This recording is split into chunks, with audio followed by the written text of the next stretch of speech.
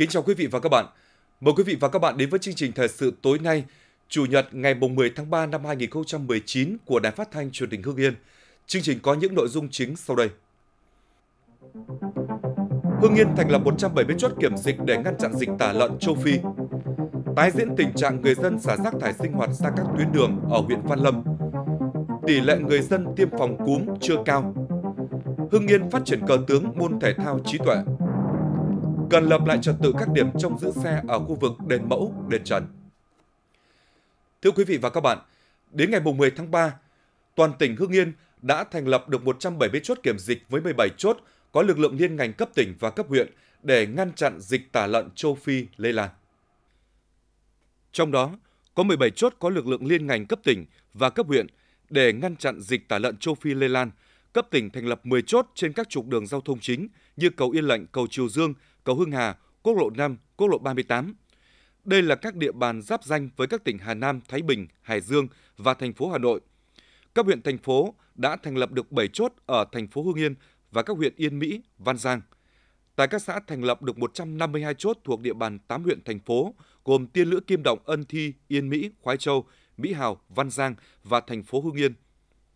Việc thành lập chốt được thực hiện không chỉ ở nơi đã xuất hiện dịch mà còn cả ở những khu vực giáp danh, nơi chưa xảy ra dịch. Các chốt duy trì quân số trực 24 trên 24 giờ nhằm ngăn chặn kịp thời việc vận chuyển lợn từ vùng có dịch ra bên ngoài. Phun thuốc tiêu độc khử trùng phương tiện đi lại, người ra vào vùng dịch để ngăn chặn vi khuẩn lây lan, kiểm soát việc tiêu hủy lợn bị dịch. Đến thời điểm hiện tại, toàn tỉnh có 33 xã ở 6 huyện thành phố bị tiêu hủy gần 2.900 con lợn, đã công bố dịch tại 11 xã của 5 huyện. Với phương châm phòng dịch hơn chống dịch, những ngày này, huyện Văn Giang đã triển khai nhiều biện pháp tích cực và quyết liệt nhằm bảo đảm an toàn cho đàn lợn trước dịch tả lợn châu Phi. Ngoài chốt kiểm dịch động vật của tỉnh đặt tại địa điểm tiếp giáp với thành phố Hà Nội, huyện thành lập thêm 6 điểm chốt khác, trong đó có 2 chốt của huyện tại xã Tân Tiến và xã Vĩnh Khúc, 4 chốt của xã Nghĩa Trụ. Các chốt túc trực 24 trên 24 giờ, kể cả ngày lễ nhằm kiểm tra, kiểm soát việc vận chuyển lợn và sản phẩm của lợn ra vào địa bàn, đồng thời triển khai khử trùng tiêu độc phương tiện vận chuyển lợn và sản phẩm của lợn vận chuyển qua chốt khi được phép đi qua theo quy định. Mặt khác, tăng cường công tác tuyên truyền để người dân, đặc biệt là các hộ chăn nuôi, hiểu rõ về tính nguy hại của dịch bệnh. Các khu chăn nuôi phát quang xung quanh chuồng trại, khơi thông cống rãnh, hạn chế tối đa khách ra vào, thường xuyên rắc vôi bột, phun thuốc khử trùng xung quanh khu vực chuồng nuôi, đảm bảo vệ sinh các dụng cụ khi cho lợn ăn uống. Đến nay, tỉnh ta đã có 117 xã hoàn thành về đích xây dựng nông thôn mới. Cùng với tập trung dành kinh phí để đầu tư kiên cố hạ tầng và các công trình phúc lợi, thì ở nhiều địa phương vẫn giữ gìn các giá trị, nét đẹp của hồn quê Việt. Xã Nghĩa Trụ huyện Văn Giang về đích xây dựng nông thôn mới năm 2017, thực hiện chương trình xây dựng nông thôn mới, xã đã đầu tư gần 150 tỷ đồng để xây dựng các công trình hạ tầng và phúc lợi. Nhiều công trình kiên cố khang trang được đầu tư mới. Tuy vậy, ở đây vẫn còn lưu giữ được nhiều nét cổ kính của làng quê, đó là các cổng làng, giếng làng, giếng cổ, đình chùa. Trong đó là hai giếng cổ của thôn Tam Kỳ, tương truyền có tuổi đời trên 1.000 năm, hay như hai cổng làng ở thôn Tam Kỳ được xây dựng từ năm 1930, cổng làng Phúc Thọ xây dựng năm 1917. Các công trình này đã tô thêm vẻ đẹp cho làng quê cổ kính xen lẫn hiện đại. Nơi đây đã gắn bó tuổi thơ, ký ức và kỷ niệm của biết bao thế hệ người dân trong thôn, cũng như chứng kiến những đổi thay của quê hương. Cái cổng làng thì là gắn bó là rất là nhiều thế hệ. Mà đi xa về gần thì là ngoài cái nhìn thấy cái cánh đồng này là rất là nhớ cái tình cảm quê hương mình. Từ cái ngày mà tức là ờ, còn nhỏ thì là đi học, chăn trâu cắt cỏ rồi là đi làm đồng. Tức là mọi người dân là đều đi qua cái, cái cổng làng này. Đấy cái tuổi thơ là và nhiều thế hệ. Đấy, rất là bây giờ là vẫn còn nguyên vẹn. Từ những năm 60 của thế kỷ trước, 6 gia đình ở thôn Ngọc Tỉnh, xã Ngọc Long, huyện Yên Mỹ đã tự nguyện giao ước thi đua với nhau, xây dựng gia đình ấm no hạnh phúc – Khởi nguồn từ đây, qua nửa thế kỷ, phong trào xây dựng gia đình văn hóa ngày càng có sức lan tỏa mạnh mẽ trong cả nước. Trong xây dựng nông thôn mới, xã Ngọc Long vẫn giữ gìn lại những cây đa giếng nước sân đình ở các thôn. Không chỉ ở xã Ngọc Long, Nghĩa Trụ mà trên địa bàn tỉnh có nhiều địa phương vẫn giữ được những hồn quê như xã Dị Sử huyện Mỹ Hào, xã Yên Phú huyện Yên Mỹ, xã Ngọc Thanh huyện Kim Động, xã An Vĩ huyện Khoái Châu. Đặc biệt là làng Nôm, xã Đại Đồng, huyện Văn Lâm vẫn còn nguyên sơ làm quê cổ kính. Nhiều người dân ở các địa phương cũng đã ý thức giữ gìn nét đẹp làm quê ngay trong gia đình. Ông Nguyễn Đình Khoa ở thôn Tạ Hạ, xã Chính Nghĩa, huyện Kim Động đã tỉ mẩn hàng chục năm để tạo ra hàng rào cây ô rô mà ít nơi nào có được. Năm 72 tôi bắt đầu đi vào tạm giam. Thế đạo để cho nó tạo thành cái cảnh đẹp tự nhiên. À, mà nó nếu mà xây cổng cũng được thôi nhưng mà tôi muốn tự nhiên. Nó có cây xanh, nó có oxy, nó chống bụi, nó chống ổn. Xây dựng nông thôn mới được tiến hành trên cơ sở đã có truyền thống văn hóa, bản sắc văn hóa làng gìn giữ nét đẹp văn hóa làng không chỉ giữ lại những gì mà ông cha ta đã dày công vun đắp, mà qua đó giáo dục cho thế hệ trẻ những nét văn hóa truyền thống của quê hương cũng như giữ lại linh hồn cho làng quê Việt. Hiện trồng nghệ trên đất hai vụ lúa, thu lãi 300 triệu đồng mỗi hecta trên năm là mô hình mang lại hiệu quả thiết thực thu hút nông dân nhiều xã ở huyện Khoai Châu. Tổng diện tích nghệ trên địa bàn huyện Khói Châu là 270 ha, trong đó diện tích chuyển đổi từ trồng lúa kém hiệu quả sang mô hình trồng nghệ khoảng 100 ha, tập trung chủ yếu tại các xã Trí Tân, Thuần Hưng, Đại Hưng. Bà con nông dân cho biết cây nghệ mang lại giá trị kinh tế cao và là nguồn thu nhập chính của nhiều nông dân. Trồng nghệ đơn giản, không tốn nhiều công chăm sóc, thích hợp với nhiều chất đất, chịu ngoại cảnh tốt, sạch bệnh – Mỗi hecta nghệ thu hoạch trung bình khoảng 27 tấn củ tươi, giá bán từ 20 đến 30.000 đồng một kg.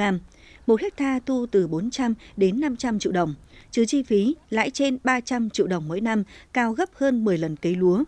Đầu ra của sản phẩm khá thuận lợi, chủ yếu là cung cấp cho công ty cổ phần dược phẩm Chafaco, công ty trách nhiệm hữu hạn Thái Dương.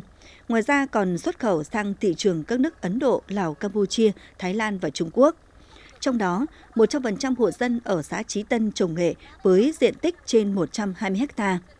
Từ hiệu quả của cây nghệ, xã tiếp tục tạo điều kiện để nông dân chuyển đổi gần 4 ha đất cấy lúa kém hiệu quả sang chuyên canh cây nghệ, giúp nông dân làm giàu bền vững.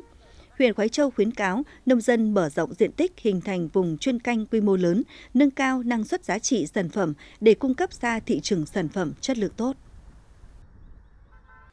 Hiện nay người trồng dưa chuột tại xã Hạ Lễ, huyện Ân Thi không phải mang dưa đi bán lẻ tại các chợ, mà thương lái đến tận ruộng thu mua với giá bán ổn định. Vụ dưa năm nay, xã Hạ Lễ trồng gần 30 mẫu tập trung chủ yếu ở thôn 1 và thôn 2. Hiện nay dưa chuột đã và đang cho thu hoạch, thương lái đến tận đầu ruộng thu mua cho bà con với giá từ 6 đến 8 000 đồng kg, thậm chí giá đầu vụ lên tới 15 000 đồng kg. So với vụ dưa năm trước, năm nay diện tích và giá bán tăng khoảng 15 đến 20%, trừ chi phí mỗi xào cho thu lãi từ 6 đến 8 triệu đồng. Việc tiêu thụ nông sản thuận lợi nên người trồng rất phấn khởi yên tâm sản xuất. Hiện nay ở huyện Văn Lâm lại tái diễn tình trạng xả rác thải sinh hoạt ra các tuyến đường gây ô nhiễm môi trường, gây mất cảnh quan đường phố. Trước Tết Nguyên đán kỷ hợi 2019, nhiều tuyến đường, tuyến phố ở Văn Lâm đã được chỉnh trang dọn dẹp, không còn rác thải, nhưng sau Tết tình trạng trên lại tái diễn. Dọc tuyến đường DH19, đường tỉnh 385, quốc lộ 5 và các tuyến đường trong thị trấn Như Quỳnh. Hiện nay lại xuất hiện nhiều bãi rác thải bên đường, rất phản cảm và gây ô nhiễm môi trường. Không chỉ xả rác bừa bãi ra đường mà nhiều nơi còn xảy ra tình trạng đốt rác thải gây ô nhiễm nghiêm trọng và gây ảnh hưởng đến trật tự an toàn giao thông. Hiện nay, huyện Văn Lâm đang nỗ lực chỉnh trang đô thị để về đích huyện nông thôn mới. Do đó, huyện cần chỉ đạo các xã, thị trấn bố trí quy hoạch điểm tập kết rác thải cho phù hợp, đồng thời đẩy mạnh công tác tuyên truyền để nhân dân không xả rác và đốt rác bừa bãi, nâng cao ý thức trong việc bảo vệ môi trường. Mời quý vị và các bạn theo dõi tiếp chương trình thời sự. Thưa quý vị và các bạn, nhờ việc áp dụng nhiều biện pháp phòng chống cận thị học đường hiệu quả, nên hiện nay, trường tiểu học Bắc Sơn, xã Bắc Sơn có tỷ lệ học sinh bị cận thị thấp nhất trong hệ thống giáo dục bậc tiểu học và trung học cơ sở của huyện Ân Thi. Trường tiểu học Bắc Sơn hiện có 675 học sinh, trong đó chỉ có 4 em bị cận thị, chiếm 0,6%. Đặc biệt có hai khối là 4 và 5 không có học sinh bị cận thị. Có được kết quả trên chính là việc nhà trường áp dụng nhiều biện pháp phòng chống có hiệu quả. Ngay từ đầu năm học, chúng tôi đã tổ chức học tập quán triệt à, với à, toàn thể cán bộ giáo viên nhà trường. Vì đây cũng là một à, nhiệm vụ trọng tâm trong cái việc thực hiện nhiệm vụ năm học. và thường xuyên tổ chức các cái hội thảo để tìm ra những cái biện pháp khắc phục đối với bệnh À, cận thị đối với trong à, nhà trường và thường xuyên cũng đánh giá cái thực trạng sau ờ, mỗi kỳ thường xuyên dùng liên lạc bằng sổ liên lạc điện tử phát hiện những cháu nào mà có những cái ờ, tật về mắt thì là phải liên lạc ngay với phụ huynh học sinh. Các thiết bị đồ dùng sử dụng trong lớp học cũng được nhà trường quan tâm như bảng phải được chống lóa, được treo ở vị trí đủ ánh sáng, phù hợp với tầm nhìn của học sinh. Các chữ viết trên bảng phải rõ và có kích thước đúng theo quy định. Sách và vở viết đảm bảo chất lượng, có độ tương phản tốt giữa chữ viết và nền. Trong các giờ lên lớp, giáo viên luôn quan sát nhắc nhở tư thế ngồi của học sinh, đặc biệt đối với các khối lớp 1, ở độ tuổi các em còn nhỏ, thầy cô tăng cường hướng dẫn và điều chỉnh tư thế ngồi không đúng nên hạn chế được tình trạng mắc cận thị. Tại lớp 1E có 35 học sinh, đến thời điểm này, theo kết quả kiểm tra cho thấy không có em nào bị cận thị và các bệnh khác về mắt.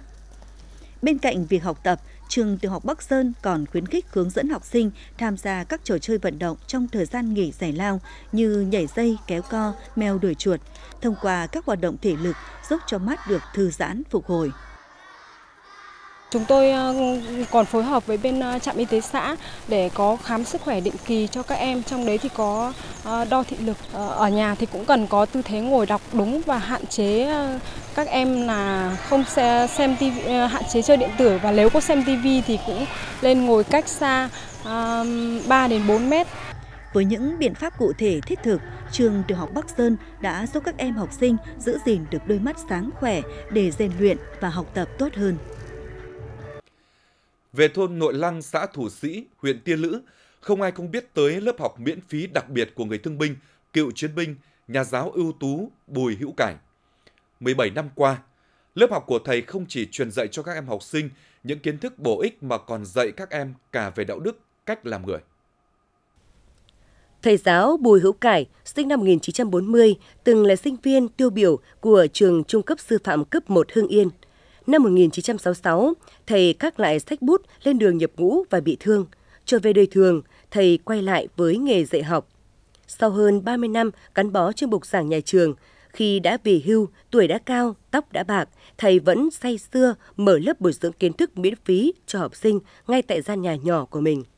Lớp học được đặt dưới gian nhà ngang cấp 4 của gia đình với vài bộ bàn ghế học sinh cũ. Từ khi thầy về hưu, năm 2005 đến nay đã 17 năm trôi qua, hàng trăm lứa học sinh trưởng thành từ lớp học đơn xưa ấy. Mỗi tuần, thầy tổ chức hai buổi dạy vào cuối tuần với hơn 10 em học sinh. Học trò của thầy là những trẻ ở xung quanh xã và cả các xã lân cận. Từ đây, kết quả học tập của nhiều em tiến bộ rõ rệt. Cơ sở vật chất đơn sơ, nhưng lớp học của thầy Cải luôn chất chứa những kiến thức bổ ích, những tình cảm ấm cúng của người thầy già, đến với những học trò nhỏ. Em cảm thấy thầy là một người rộng lượng và chỉ bảo cho em từ những bài toán cơ bản đến những bài toán nâng cao. Em rất biết ơn thầy đã dìu dắt chúng em để tạo một nền tảng để tiếp thu những kiến thức một cách tốt nhất ạ. Bằng những nỗ lực và đóng góp của mình, năm 1997, thầy giáo Bùi Hữu Cải được Chủ tịch nước trao tặng danh hiệu vinh dự nhà giáo ưu tú Thủ tướng Chính phủ tặng bằng khen cùng nhiều phần thưởng cao quý khác. Tôi luôn luôn là mang hết cái khả năng của mình để dạy dỗ các cháu, để lại cho thế hệ sau những kiến thức văn hóa tốt. Cái mong muốn của tôi là để các cháu sau đây mang kiến thức của mình ra xây dựng quê hương đất nước, đóng góp nhiều vào sự nghiệp cách mạng của Đảng. Với nhiều người, nghỉ hưu là hết nhưng với thầy giáo Bùi Hữu Cải, rời bục giảng nhà trường là lúc thầy dựng bục giảng ngay chính nhà mình. Tất cả cũng chỉ nhằm mục đích vì sự nghiệp chồng người. Việc làm của thầy tuy bình dị nhưng mang theo một lý tưởng cao đẹp và lớp học miễn phí cùng những bài dạy của thầy sẽ còn theo chân các em học sinh đến suốt cuộc đời. Thời điểm giao mùa, cả người lớn và trẻ em rất dễ bị mắc cúm. Căn bệnh tưởng chứng đơn giản nhưng lại có thể gây ra những biến chứng khá nguy hiểm. Tiêm phòng cúm là cách hiệu quả để phòng bệnh, nhưng hiện nay vẫn chưa thực sự có nhiều bệnh nhân tiếp cận với vaccine này. Vaccine phòng cúm không phải là vaccine nằm trong chương trình tiêm chủng mở rộng nên nhiều người thường không nắm được thông tin. Chỉ một số cơ sở tiêm chủng có nhập vaccine về mới triển khai tiêm. Từ đầu năm 2019 đến nay, Phòng tiêm chủng vaccine Sapo Trung tâm Kiểm soát Bệnh tật tỉnh mới tiêm phòng được 80 liều cúm cho cả người lớn và trẻ em. Đây là vaccine được tiêm dịch vụ nên người dân cần lưu ý chủ động nắm thông tin từ các cơ sở tiêm chủng để có thể được tiêm phòng bệnh. Thưa quý vị và các bạn, Môn cờ tướng đã xuất hiện trong văn hóa người Việt từ rất lâu, trở thành món ăn tinh thần không thể thiếu đối với mọi tầng lớp trong xã hội. Từ các cụ cao niên đến thanh niên, thậm chí cả trẻ nhỏ, không ai là không biết đến trò chơi trí tuệ này. Tại Hương Yên, trong những năm gần đây, môn cờ tướng được khuyến khích phát triển trở thành môn thi đấu trong Đại hội Thể dục Thể thao của tỉnh. Bất kỳ một lễ hội truyền thống nào, chúng ta cũng bắt gặp hình ảnh những tốp người đứng xem và chơi cờ tướng. Có lẽ môn cờ tướng là món ăn tinh thần không thể thiếu trong sinh hoạt văn hóa của cộng đồng làng xã. Với nhu cầu văn hóa không thể thiếu, nhiều câu lạc bộ cờ tướng trên địa bàn đã được thành lập và hoạt động hiệu quả. Các câu lạc bộ thường xuyên tổ chức thi đấu giao lưu học hỏi giữa các thành viên với nhau bởi môn thể thao này không tốn sức lực mà cần sự tập trung trí tuệ làm cho mọi người chơi minh mẫn hơn.